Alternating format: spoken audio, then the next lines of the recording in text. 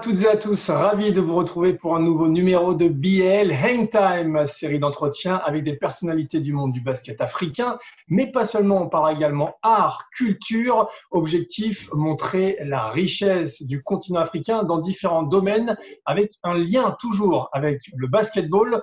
Aujourd'hui, j'ai la chance d'accueillir l'assistant coach des Toronto Raptors, mais aussi artiste peintre de talent. Bonjour Patrick Mutombo. Bonjour Youssef, comment vas-tu? Très bien, et toi? Ça va, ça va. Alors, on va avoir une émission en deux temps aujourd'hui, je l'ai dit en, préambule. On va parler de l'assistant coach que tu es. On parlera bien entendu dans la partie basket de l'Afrique, des Raptors, de la Basketball Africa League et des ambitions que tu as pour le, continent africain et son développement. Et on parlera de cette passion que peut-être certaines personnes ne connaissent pas, la passion que tu as pour l'art. Comment se passe le quotidien de l'assistant coach que tu es par rapport au coronavirus euh, Tu es à la maison, tu travailles, qu'est-ce qui se passe? Comment, comment ça se passe? J'essaie de me réveiller assez tôt avant l'aube. C'est généralement vers 5h15, 5h30. Ah oui J'ai quatre gosses, donc euh, je sais au moins qu'à ce moment-là, la maison est calme, tout le monde dort. J'ai le temps d'être seul avec mes pensées, de, passer un peu de temps dans, dans la prière aussi. J'essaie de faire la grosse majorité de mon travail le matin. Et après ça, les enfants ont l'école. J'essaye d'assister avec ça. C'est pas toujours évident. Nos journées se terminent généralement vers, euh, allez, aux alentours de 22 heures. Très longue journée. Et concrètement, avec les Raptors, vous faites des entraînements à distance C'est des entraînements vidéo comme on fait ici sur ce genre d'application Ou bien c'est un autre processus que vous avez? Nous sommes tous en charge de quelques joueurs à qui on essaie de parler régulièrement. On envoie des, des vidéos des films, mhm. donc on fait des montages. Ça fait partie du travail que je fais notamment le matin. Alors moi, j'aimerais euh, d'abord, euh, dans un premier temps, aussi revenir sur euh, ton parcours, te présenter un petit peu. Tu es né à Kinshasa, en République démocratique du Congo, et à l'âge de 13 ans, tu quittes ta terre natale pour aller vivre en Belgique. Comment à l'époque, l'adolescent que tu es, c'est une période assez compliquée en plus, que tu es, vis ce déménagement de l'Afrique vers l'Europe? Tu sais, Lorsqu'on a quitté l'Afrique pour la Belgique, euh, j'étais un jeune Africain, voilà, l'Europe, je ne connaissais que ce que je voyais dans les films. On habitait à Droix, à Liège. Droix, c'était alors un quartier là où tu retrouvais tout le monde. Tu retrouvais tous les immigrants, tu retrouvais les Marocains, tu retrouvais les Serbes, tu retrouvais les Congolais, les Camerounais. Alors, on était tous dans ces, dans ces immeubles-là, c'était des HLM. On était au 15e étage. Et je sors, je regarde, et je me dis, waouh, c'est ça l'Europe. c'est différent, c'est petit, c'est pas ce que j'avais imaginé. Mais évidemment, avec le temps, je me suis habitué et que bon, les espaces n'étaient pas les mêmes et que les maisons n'étaient pas les mêmes et que uh-huh. finalement, nous, en tant que famille, on, recommençait un peu. Ton premier contact avec le, basket, est-ce que tu pourrais nous en parler? Si je dis pas de bêtises, au début, tu étais plutôt euh, foot et il y a un certain de tes amis, un certain Ali, qui t'aurait mis au défi. Tu peux nous raconter? Hey, Youssef, tu m'épates. euh, oui, effectivement, parce que j'étais plus foot. Euh, ma, ma, première année, j'étais dans un club de foot pierreuse. Par la suite, j'ai un ami qui jouait au basket à Lille. Et bon, moi, à l'époque, euh, venant d'Afrique, je pensais que voilà, le basket, c'était pas un sport viril, c'était pas un sport. Alors, une fois, il me, il me, met au défi de OK, on va au parc, vas-y, essaye de, essaye de marquer. Mais j'arrivais pas. Alors, ça, ça, ça m'énervait parce que je pensais, ouais, attends, mettre une balle dans un panier, c'est n'importe quoi, c'est facile. J'ai essayé, j'ai essayé, j'arrivais pas. Alors, il a commencé à me chambrer. Alors, ce que moi, je faisais, c'est que ce que j'ai commencé à faire, c'est retourner au parc sans lui, m'entraîner, essayer, essayer. C'était en fait par orgueil que j'ai finalement, que je suis tombé amoureux du basket et à partir de là, j'ai plus, plus jamais, je suis plus jamais retourné au foot. Quoi. Faut croire, vous vous débrouillez pas mal au basket parce que à 19 ans, vous obtenez une bourse pour aller étudier aux États-Unis au Metropolitan State University à Denver. Et vous réalisez une belle carrière universitaire, vous êtes diplômé de cette université et vous débutez une carrière professionnelle de basket en Europe. Vous revenez en Europe, euh, notamment en Italie et en Grèce. Quels souvenirs vous gardez de cette période de votre vie, de votre carrière de sportif professionnel et de basketteur professionnel? Je vais en Italie et je joue avec ou contre beaucoup de gars qui étaient soit en NBA ou qui allaient, notamment Matt Bonner. Euh, sa première année, nous avons joué ensemble. Des gars qui jouent à Kentucky, des grandes universités que je regardais à la télé, finalement, c'était mes coéquipiers. Puis il y avait la Grèce. La Grèce, là où je suis tombé amoureux de la peinture. J'ai passé des moments très difficiles en Grèce, mais pendant ces moments difficiles, il y a quand même eu quelque chose de beau et de fort.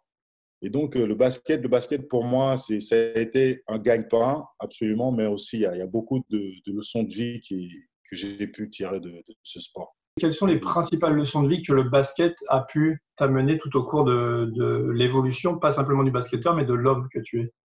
Chaque être humain a un rêve qui, qui lui est cher, quelque chose en lui qu'il est appelé à réaliser. Et qu'à un moment donné, ce rêve-là sera testé. Et qu'il y a des gens qui essaieront de vous décourager, mais il y aura aussi des gens qui seront là pour vous encourager. Et que je pense qu'il y a beaucoup de gens qui ont trop vite abandonné.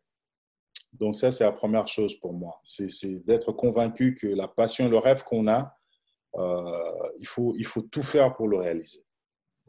La deuxième chose, le travail. Le travail, il n'y a pas de secret. Il n'y a pas de secret, il n'y a pas de superstition. Il faut, il faut bosser. Il faut bosser. J'ai évoqué l'humilité. Il y a beaucoup d'obstacles. Je me suis souvent blessé. Euh, j'ai souvent été déçu. Mon parcours m'a appris à faire attention. Chaque situation a une leçon, un principe qu'on peut extraire. Et que le basket, le sport est riche de scénarios comme ça, d'histoires, là où on peut tirer de leçons qu'on peut garder pour nous, mais aussi qu'on peut partager avec les autres. À l'issue de ta carrière de basketteur professionnel, euh, tu te lances dans le coaching, tu commences par être assistant dans ton ancienne fac, d'ailleurs. On rappelle que la fac est à Denver et que un beau jour, tu as un coup de fil d'un certain George Carl, à l'époque coach de l'équipe des Denver Nuggets. Je voudrais que tu nous racontes un petit peu cette histoire et, et ce que tu as ressenti. Raconte-nous, on veut les détails. C'est une histoire de fou. Je me rappelle exactement où j'étais. J'étais dans ma cuisine. Je pense que je me faisais, une tartine à la confiture. Et euh, oui, Patrick, euh, c'est George Carl, je traduis. Euh, certaines personnes et moi pensions à toi pour une position de coaching. Est-ce que tu as le temps? Est-ce qu'on peut se rencontrer quelque part? Est-ce qu'on peut se rencontrer quelque part?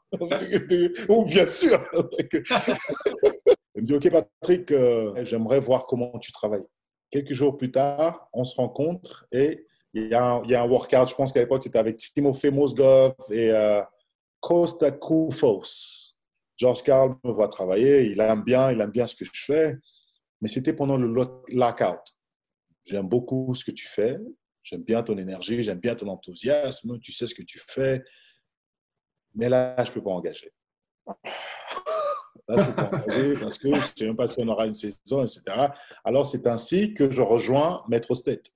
Pendant un mois, et un jour, on est, on, est en train de manger à midi avec le staff et je reçois un coup de fil de George Carl.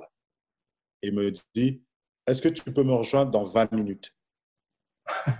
Alors là, j'ai un dilemme parce qu'on est, en train, on est en train de manger avec mon staff actuel. je reçois ce coup de George Carl. Bah écoute, la destinée m'appelle. Oui, c'est clair, bien sûr. J'ai dû m'excuser et j'ai été euh, parler avec George Carl et c'est ainsi qu'il m'a engagé. On the spot, comme on dit, et c'est ainsi que mon, ma carrière en NBA a débuté. Tu peux nous parler un peu de ton évolution au sein de la franchise et comment tu as, vécu ces années, mais pour qu'on comprenne euh, tes années, tes années Denver? Donc, j'ai commencé en tant que euh, Player Development Coordinator. La deuxième année, j'ai été promu euh, au poste d'assistant coach. Mm-hmm. je voyageais un peu plus et je faisais du scouting à l'extérieur. Je revenais, j'entraînais encore les joueurs. Et six ans après, donc toujours assistant coach, mais j'avais beaucoup, plus de responsabilités. Ensuite, George Carr s'est fait virer et Brian Shaw est venu, il m'a promu sur le banc. Donc j'étais donc troisième assistant. Et puis euh, à partir de là, et puis lui il a été, lui, il a été viré. Et euh, Mike Malone est venu par la suite. Et c'est là que Mike Malone m'a viré moi. Quand tu te fais euh, couper par, par Denver, on est en 2015.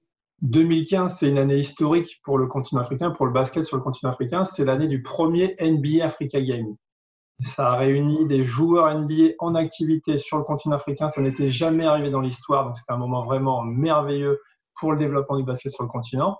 Et en parallèle du NBA Africa Game, il y a le Basketball Without Borders, qui est euh, un camp basket qui réunit les meilleurs jeunes basketteurs africains sur le continent africain. Un camp encadré par des coachs comme toi, tu étais coach sur le camp à ce moment-là. Et le patron des coachs sur ce camp-là en 2015 était un certain Greg Popovich et il y avait également le, GM des, Spurs de l'époque, c'était Arcy Bufford. Ton enthousiasme, ta passion qui avait plu à George Cars, a priori, elles ont plu également à, ces deux hommes. Faudrait que tu nous racontes cette histoire et ce qui est assez beau, sympa et finalement c'est peut-être ton étoile, c'est que c'est arrivé sur le continent africain en plus. Donc le matin, on a, des sessions avec, euh, je crois que j'avais un groupe de 20 joueurs donc j'entraîne et il y a Greg Popovich juste derrière moi, en train d'observer. Bah, voilà, moi je continue et, je gère mon groupe. à un moment donné, il y a Greg Popovich qui me prend et qui me dit voilà, dis-leur de, faire ceci. Ok, j'y vais, j'instruis le groupe et à un moment donné, Greg Popovich disparaît. Et puis il y a R.C. Buffett qui vient, qui regarde, qui, qui regarde ma station. Et donc on continue. Et à la fin de l'exercice, il y a Greg Popovich qui vient, qui me prend par les hanches et qui me donne le meilleur compliment de ma vie.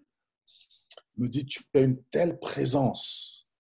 Tu as une telle présence. Ce que tu as, on ne l'enseigne pas. Tu l'as ou tu ne l'as pas? Ah oui. moi, je suis gêné. C'est la première fois que je le rencontre, je ne le connais pas. Oui, j'ai coaché contre lui, mais voilà, je ne connais pas personnellement, je ne lui ai jamais parlé.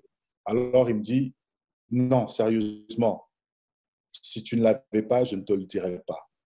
Et on a pu développer une, une relation à partir de là et c'est ainsi qu'il m'offre de rejoindre les Spurs, mais en D-League. Donc j'étais à la recherche d'un travail. Mhm. Et euh, les Spurs sont, sont, une famille que j'ai toujours euh, admirée de loin, qui a toujours, j'étais toujours curieux de pourquoi est-ce qu'ils ont autant de réussite, quelle est leur, leur culture, qu'est-ce qu'ils font bien, qu'est-ce qu'ils ne font pas si bien, qu'est-ce que je peux apprendre, etc. Et donc ça, c'était en fin de compte une, grande, une belle opportunité pour nous d'intégrer ce groupe. C'est comme ça que ça s'est fait.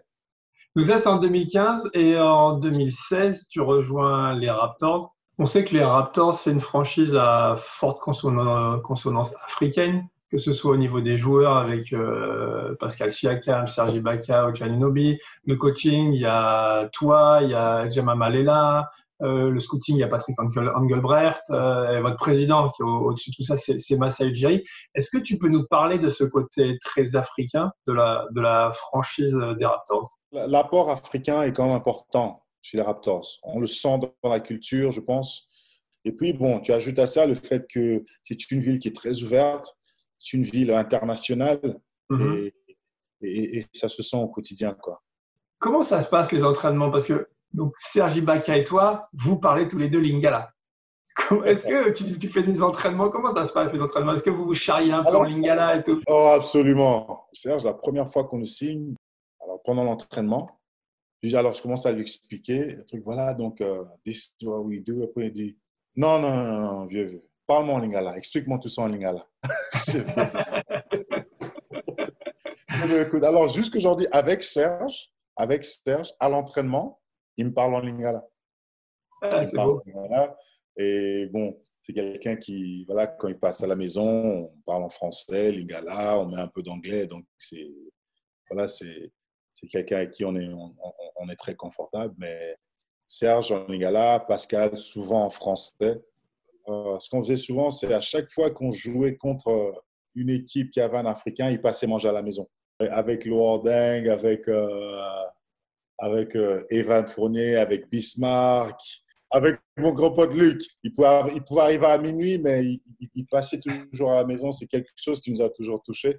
Est-ce que vous charriez un petit peu aussi Alors, on sait que sur le continent africain, chaque pays pense que sa cuisine est la meilleure cuisine du continent. Est-ce que vous charriez sur la cuisine? Tu parlais de les inviter à dîner, tout ça. Est-ce qu'il y a, y a cette relation si. Absolument. Serge, il ne charrie pas trop parce qu'il sait que quand il veut manger africain, il écrit directement, il fait un texte à mon épouse. Et puis, tu sais, il m'est arrivé une fois de, rentrer de l'entraînement.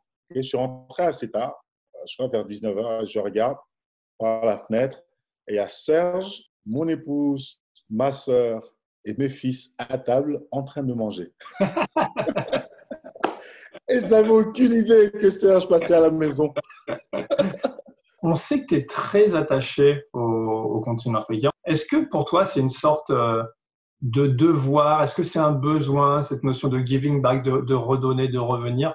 Euh, Parle-nous de ce sentiment que tu as de cette implication. Je suis né au continent. Je m'appelle Patrick Mutombo. Peu importe quel passeport j'ai, peu importe. Mutombo, c'est africain. Je suis sorti du continent, mais le continent reste en moi. Mes racines s'y trouvent. Et lorsque je vais, tout ce que je fais, c'est un, retour aux sources. Je suis très reconnaissant à Masai, Amadou, la NBA qui nous donne, qui donne à, des gens comme moi une opportunité de, retourner sur le continent et d'avoir une plateforme qui nous permet de, donner ce qu'on a. C'est pas toujours évident de, de, tout organiser de A à Z. Et mmh. chapeau à des gens comme Bismarck, Luc Bahamouté, Loire Deng, Gorgui Dieng, tous ces gens qui, qui, organisent ces camps de basket et qui, qui encadrent les jeunes de, gros chapeau à eux. Et aller avec Giants of Africa, des organisations comme SEED ou bien Basketball Arbors me permet de venir, moi, et, de faire ce que je fais le mieux, c'est de coacher. Donc, chaque année, je peux aller et, et pouvoir me donner et donner de, de mon expertise à, ces jeunes. Mais aussi un aspect qui est, qui est, hyper important pour moi, qui est très négligé dans le continent, ce sont les coachs. L'apprentissage des coachs. L'instructeur aussi transmet, transmet sa connaissance, mais aussi son manque de connaissances si nos coachs s'améliorent, nos joueurs s'amélioreront aussi. J'ai un programme qui, aide les coachs, donc un mentorship programme, d'être un mentor pour ces coachs, essayer mhm. de, les aider, de les guider dans, leur démarche. J'ai des, des, sessions deux fois par mhm. semaine. On parle de différents sujets, on parle de, différentes méthodologies de travail, différentes approches du basket. On échange des idées et, et on grandit ensemble. Et généralement, je les choisis je les choisis. Alors, s'il y a des candidats, des gens qui sont intéressés, généralement, je prends le temps de les connaître d'abord et voir si, effectivement, nous sommes appelés à marcher ensemble et d'effectuer mmh. euh, ce, ce, voyage ensemble. Pour l'instant, c'est juste par email, me faire un email. Et, et à partir de ça, on, entame une conversation. Et à partir de cette conversation, on décide si c'est quelque chose qu'on veut faire ensemble. C'est noté. Et prépare-toi à recevoir beaucoup de mails, je pense. c'est un bon programme. merci. Le nom de l'émission, c'est BL Hangtime, euh, la Basketball Africa League. Que penses-tu de cette démarche de créer une ligue professionnelle sur le continent africain avec les standards de la NBA en partenariat avec la FIBA oh, C'est incroyable. C'est quelque chose de. Ça n'a jamais été fait. Et le fait que la NBA puisse s'exporter en Afrique, euh, que l'Afrique, ça, ça, en dit long sur notre continent. Ça en dit long sur le potentiel du continent parce que on sait tous, la NBA ne va pas n'importe où et la NBA ne fait pas les choses n'importe comment. Et le fait qu'il y ait des gens qui, qui sont en mesure, des gens comme toi, Youssef, des gens comme Amadou, des gens qui ont l'expertise et des gens qui peuvent aider à, porter ce projet dans, dans un esprit d'excellence, ça en dit long et surtout le talent pourra rester en Afrique, se développer en Afrique, les infrastructures qui vont se développer, l'aspect économique que qu'un tel projet euh, peut, peut, peut, générer, euh, l'impact social avec nos mhm. jeunes. Hein, il, y a, tout un écosystème qui va être créé, qui va permettre euh, à nos jeunes de rêver plus grand, puisque plus grand et de manière même plus, plus concrète parce qu'ils pourront toucher leurs héros, euh, nos coachs qui seront exposés, je pense, au fur et à mesure à, un coaching de, haut niveau. Je supporte ce projet et quand je, quand je vois un gars comme Amadou et, et Mayo à la, tête de ce projet, je, je, je sais qu'il va réussir. Tu parlais de faire rêver les jeunes. Est-ce que tu peux nous donner un conseil que tu aurais aux jeunes basketteurs africains, à tous ceux-là qui nous regardent Regarde, qu'est-ce qu'un mec comme moi fait en NBA? Qu'est-ce que je fais en NBA? Qu'est-ce que je fais à entraîner Kawhi Leonard, Pascal Siakam, Kyle Lowry? Qu'est-ce que je fais à être un All-Star Game en train d'entraîner LeBron James, entraîner les Yanis, les Kemba Walker? Qu'est-ce que je fais là? On ne sait pas ce que l'avenir nous réserve. Il ne faut pas avoir peur de rêver. Quand j'étais un gamin dans, dans les rues de Kinshasa, à l'âge de, je sais pas, 10, 11, 12, 13 ans, je ne pensais pas qu'un jour je serais ici. Mais je sais que j'avais un désir. Je sais qu'il y avait des qualités en moi, hein, le travail. Et moi, mon message pour les jeunes, c'est n'ayez pas peur de rêver. Rêvez, mais ensuite réveillez-vous. Allez bosser. Allez chercher ce rêve. Se regarder dans le miroir et de dire j'ai essayé, j'ai fait de mon mieux, il n'y a pas mieux. Est-ce qu'un jour, on aura la chance de vous voir à la tête d'une sélection africaine et notamment, bien entendu, à la tête de la République démocratique du Congo. C'est mon rêve. C'est mon rêve. Et je n'attends que ça. Je suis dispo. J'attends. J'ai parlé d'une responsabilité, d'une obligation de, de, servir le continent, d'aller contribuer au développement du continent. Et ça, ce serait une, quelque chose dont je serais extrêmement euh, reconnaissant, cette opportunité de pouvoir servir le continent dans cette capacité. J'espère que le message sera entendu parce qu'on a besoin, et le continent a besoin également de cette expertise. On a plusieurs joueurs NBA qui sont volés, je vais en citer deux, simplement Bismack Biombo et Emmanuel Moudiaï, qui, euh, je pense, ne seraient pas contre euh, venir dans une sélection du Congo, euh, voilà, si vous étiez à la tête. Bon, affaire à suivre, comme on dit, mais le message est passé. Alors là, on va un petit peu fermer la page basket. On va passer à votre passion pour l'art, notamment pour la peinture. Parlez-nous de cette passion on a des choses en nous et il faut aller, il faut, aller chercher, il faut les découvrir, il faut les développer. Et je pense que l'art, pour moi, faisait partie de l'une de ces choses que j'avais en moi.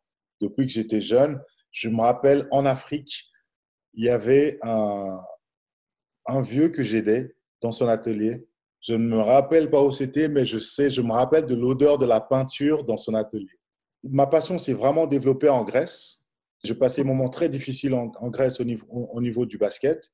J'ai rencontré une personne qui était, un peintre, mais qui avait aussi une galerie d'art. Et nous avons développé une amitié. J'allais peindre après les entraînements. Je peignais de, je pense, de 22h à 4, 5 heures du matin. Je faisais ça non-stop. C'est ainsi que j'ai pu vraiment développer et commencer à poursuivre cette passion pour, euh, cette passion pour, pour la peinture en Grèce. C'est intéressant parce que c'était dans un moment de crise que j'ai pu mhm découvrir quelque chose qui était en moi. Vous avez deux passions, l'art et le basket, peut-être vous en avez d'autres, mais on va se concentrer sur ces deux-là. Euh, en quoi ils sont liés, ces deux passions, finalement? Bah, C'est question de créativité.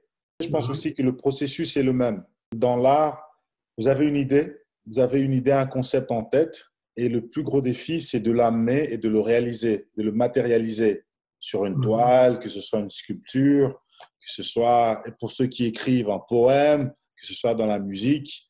Et il y a tout un processus qu'on suit, qu'on développe pour amener donc ce qui est abstrait à devenir concret. Ben, c'est la même chose dans le basket. Quand vous pensez une position de, de head coach, j'avais une idée, comment est-ce que vous voulez que votre équipe fonctionne? Comment est-ce que vous voulez que votre équipe joue? Comment est-ce que, est que vous voulez que votre équipe reflète euh, dans l'art, vous avez, voilà, que ce soit l'huile, vous avez vos pinceaux, vous avez votre mhm. toile, vous avez etc., ben, vous avez vos joueurs en basket. Moi, j'aimerais revenir avec vous sur l'une de vos dernières toiles euh, que je trouve superbe, mais ça, c'est mon avis personnel. Euh, c'est les, docteurs et infirmières, les guerriers des, des temps modernes. Euh, qu'on voit là d'ailleurs euh, actuellement. Vous pouvez nous parler euh, de cette toile, nous expliquer comment vous avez eu envie de la faire. le message aussi, c'était, bah, vous allez nous le dire, hein, forcément, de tirer un chapeau bas euh, tout le corps médical qui œuvre durant cette période très compliquée du Covid-19. L'idée, c'était de, créer quelque chose qui, qui honorait les, médecins, les, infirmiers, les gens qui... Ma mère est infirmière aussi, mm. donc les gens qui, sont, qui en ce moment se, sacrifient beaucoup pour, pour aider et qui, qui vraiment sont mis à l'épreuve. Je décris une guerre, il y a des éléments qui, qui ont une signification particulière. Je vois qu'on voit une personne en prière pour commencer. Je pense que c'est important. C'est important pour le moment. C'est un temps de réflexion, c'est un temps de, connexion. On voit la mort aussi dans cette toile. Parce qu'il y, a des gens qui. Voilà, j'ai perdu, j'ai perdu deux membres de famille qui sont mhm. morts à cause du virus. Notamment, j'ai mon meilleur ami qui, qui, en a souffert aussi, qui, mais lui qui, qui s'en est sorti. Donc, c'est quelque chose qui, qui nous a frôlé. On voit aussi un docteur qui est, qui est, sur un cheval, un, cheval blanc, et pour moi, ça, ça, me met, mais il n'a pas, il n'a pas d'armes. Et pour moi, il est armé de de, de, de, sa passion, de sa vocation, de son appel. Et on sait que le cheval, c'est un animal qui a, qui a de la fierté, qui n'a pas peur et qui fonce. Et, et, ces gens foncent vers ce que tout le monde fouille au quotidien. Et donc, j'espère que dans cette toile, les gens pourraient voir ça. il y a, tout en bas, on voit des masques en or. Parce que pour le moment, ben, les gens se réfugient un peu dans ça. Aujourd'hui, les masques, c'est si, quelqu'un tu préférais pas probablement que je t'offre des masques pour ton anniversaire que. c'est clair. Il y a un mot en, je pense que c'est au Japon. Le mot, il y a le mot qui décrit crise, c'est le même mot pour opportunité. Je hmm. pense que c'est un concept assez intéressant. Parce qu'en ces moments de crise, il y a aussi une opportunité, une grande opportunité d'exprimer des choses qui, qui, qui, peuvent construire et qui peuvent aider les gens à, à, à rebâtir certaines choses. Les gens ont plus de temps et le monde s'est arrêté pendant un moment. Mm-hmm. Et pendant cet arrêt, je pense que nous, les artistes, nous avons la responsabilité de dire des choses pertinentes. Nous avons l'attention des gens. On peut toucher, le, on peut toucher les gens. Et je pense que c'est une grande responsabilité que nous avons. Nous avons de bien choisir les messages que nous véhiculons. Bon, ce sera euh, l'un des mots de la fin, Patrick. C'est ces, belles paroles. Donc, euh, merci beaucoup. Plein de bonnes choses euh, pour la suite, Patrick. Merci. Et vous pouvez toujours nous suivre sur nos réseaux sociaux at THEBAL sur Instagram, Facebook et Twitter et bien entendu ici sur YouTube. Euh, en attendant, pendant ces temps compliqués, prenez soin de vous, restez en sécurité et je vous dis à très vite. Salut à tous et encore merci Patrick. Au revoir, au revoir Youssef, merci.